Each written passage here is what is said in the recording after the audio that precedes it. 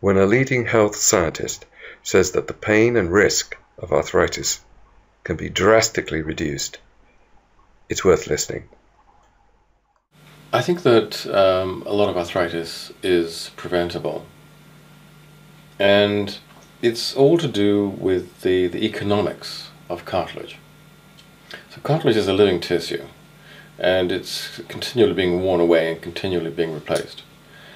And if over time the defective diet that you're eating, or in some cases a, a particular kind of lifestyle, and I'll talk about that more in a minute, is reducing the ability of the body to grow new cartilage and at the same time increasing the destruction of cartilage, over time your cartilage will thin.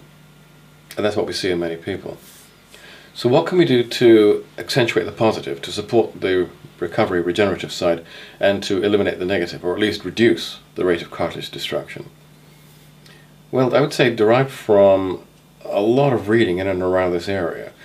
First of all, reduce the stresses on cartilage. They would include excessive physical loading. So overweight is a known risk factor. Um, so those are lifestyle issues which uh, you can deal with to a certain extent. Cartilage also is destroyed by inflammation caused by other sources. So to reduce the pro-inflammatory climate in the body in general is a good thing.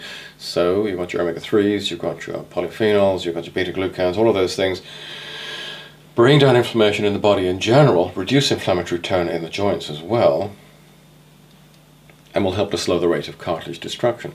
How do we support cartilage regeneration? People talk about glucosamine. Well, yes, up to a point.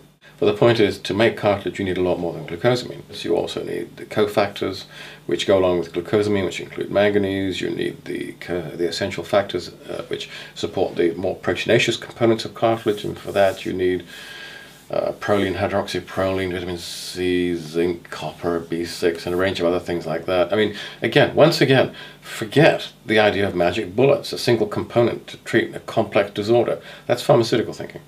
That's 19th century thinking. It's really very obsolete. So, why the emphasis on inflammation?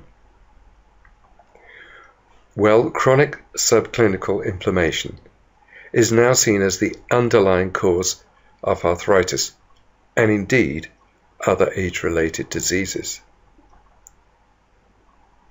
Authorities like UCLA at Berkeley say that low-grade inflammation, this is a continuous level of inflammation, but subclinical, not noticeable, is associated with everything from heart disease and diabetes to Alzheimer's and arthritis, and may even be the cause of most chronic diseases and Scientific American concurs.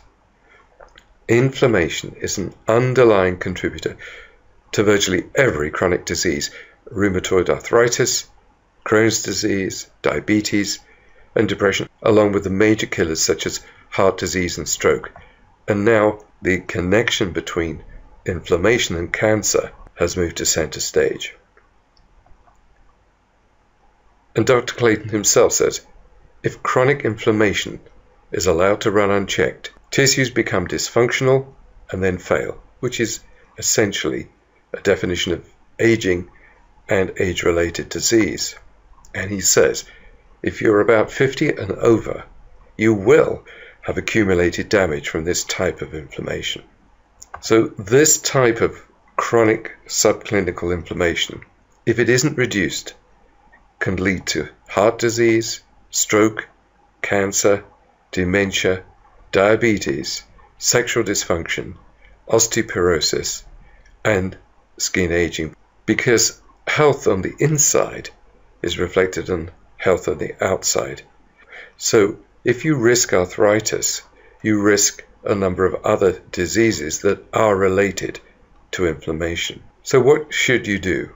Well, the first priority is to make sure your diet is high in anti-inflammatory nutrients. And that's why Dr. Clayton has produced a, a cookbook, which is free, featuring the type of anti-inflammatory foods that will reduce the risk of not just arthritis, but other age-related diseases. And he has also designed a supplement which combines rich levels of vitamins and minerals, but with anti-inflammatory and indeed antioxidant nutrients, which is why it's unique.